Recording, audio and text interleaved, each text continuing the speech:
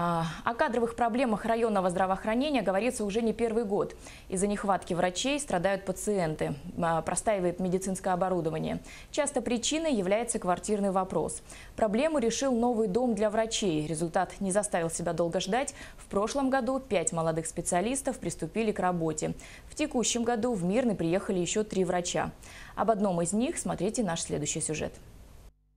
Рабочий день врача-уролога Марии Андреевой расписан по минутам. Утренний обход, назначение процедур, прием пациентов в поликлинике. Она приехала в алмазную столицу в надежде, что Мирный станет для нее не просто отправной точкой в карьере, а началом новой жизни. Вообще э, мечта стать урологом, она, наверное, была еще со студенческой скамьи.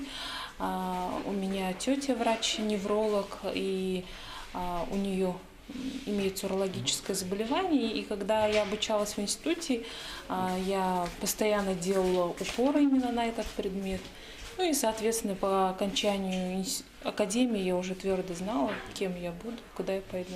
Сама практика, которая была во время студенческих лет, э, то есть у нас же на третьем, на четвертом, на пятом курсе мы проходим практические занятия на базе тех или иных больниц. И вот одной из причин, наверное, послужило прохождение практики в отделении урологии. Еще девчонкой наша героиня лечила кукол и мечтала стать врачом. Спустя годы поступила в Читинскую медицинскую академию. Свой профессиональный путь начала в 2010 году врачом-урологом в Республиканской клинике Бурятии. Этой весной вместе с семьей Мария Владимировна переехала в Мирный. Чуткая, грамотная, способная в любую минуту прийти на помощь. Так о Марии Владимировне отзываются пациенты. Сама доктор говорит, работать сложно, но очень интересно. Ведь в медицину она пришла, чтобы помогать людям.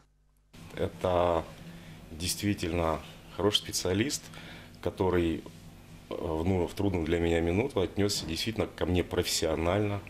А, смог диагностировать мое состояние и оказать своевременную помощь.